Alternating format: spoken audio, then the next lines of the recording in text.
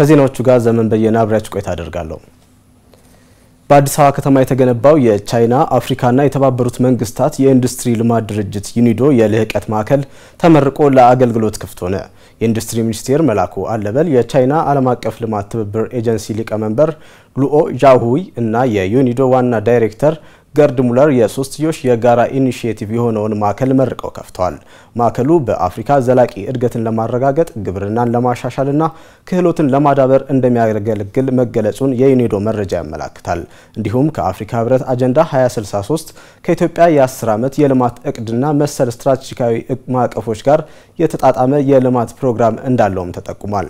በተጨማሪም ለቻይና አፍሪካ የትብብር ፎረምና ለ2030 የዘላቂ ልማት አጀንዳ አስተዋጽኦ ያበረክታል ተብሏል።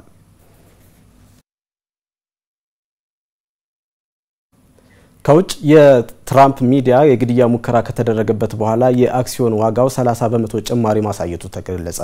በሳምንቱ መጨረሻ ላይ በተደረገ የግድያ ሙከራ ጉዳት ከደረሰበት በኋላ የቀድሞ ፕሬዝዳንት ዶናልድ ትራምፕ የማህበራዊ ሚዲያ ኩባንያ ዋጋው በዛሬው ዕለት ጭማሪ አሳይቷል። የትራምፕ ሚዲያና ቴክኖሎጂ ግሩፕ የአክሲዮን ዋጋ ዛሬ ማለዳ ከ30 በመቶ በላይ ጭማሪ አሳይቷል። ይህም ኩባንያው በመጋቢት ወር መገበያያ ላይ ሽያጭ ከጀመረ ወዲህ ትልቁን የአንድ ቀን ትርፍ ለማግኘት እንዳስቻለው መረጃው አስነብቧል። ክስተቱ በትሩዝ የማህበራዊ ትስስር ባለቤት ውስጥ ያለውን የትራምፕን የበላይነት ዋጋ በከፍተኛ ሁኔታ ሲያሳድግ 3.5 ቢሊዮን ዶላር ይገመት የነበረው የ114.75 ሚሊዮን ባለ አክሲዮኖች ዋጋን ወደ 5 ቢሊዮን ዶላር ከፍ እንዲልም አድርጎታል ሲል ሲኤንኤን ዘግቧል።